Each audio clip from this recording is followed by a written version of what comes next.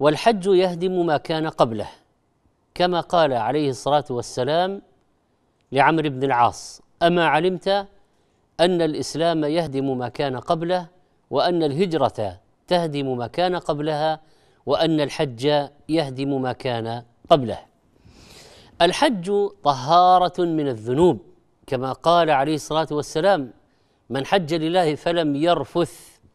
يعني لم يتكلم بالكلام الفاحش ولم يفسق لم يأتي بسيئة ولا معصية رجع من ذنوبه رجع كيوم ولدته أمه.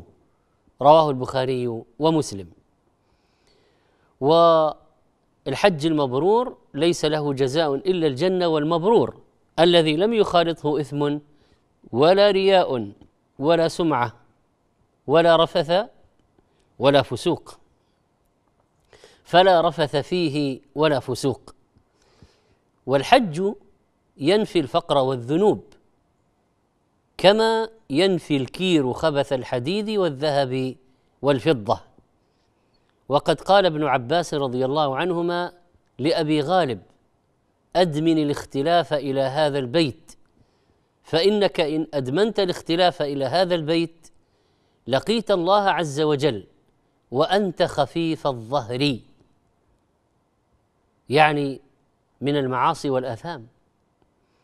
والحج من أفضل أعمال البر حج مبرور ينوي إخلاص النية لله ويحرص على القيام بما أمر به الله.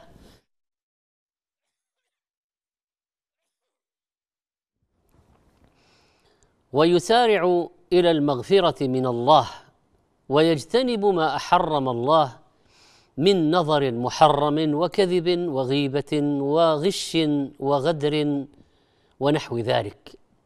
ويتخلق بالأخلاق الفاضلة فيكون طلق الوجه طيب النفس رضي البال. وكذلك فإن الظلم في هذه الأماكن عاقبته وخيمة. واثمه وبيل. وقد قال الله الحج أشهر معلومات فمن فرض فيهن الحج فلا رفث ولا فسوق ولا جدال في الحج. فيكون المسلم سلما لله ولدينه ولعباده. وكل من استطاع الحج يجب عليه على الفور. ولله على الناس حج البيت من استطاع إليه سبيلا ومن كفر فإن الله غني عن العالمين. وقد قال عليه الصلاة والسلام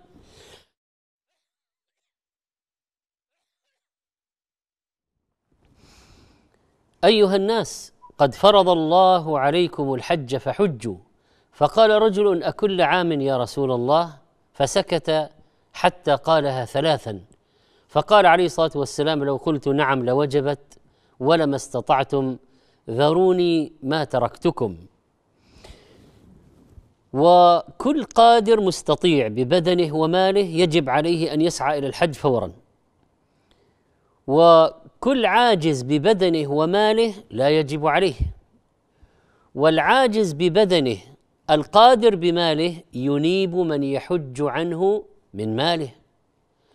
والعاجز بماله القادر ببدنه إذا كان قريبا إذا كان قريبا أقل من مسافة قصر فعليه أن يأتي ولو على قدميه. ويجب على المستطيع حج الفريضة ولو لم يأذن له الوالدان. وكذلك الشاب البالغ إذا قدر ولا يجوز لأبويه منعه من فريضة الله.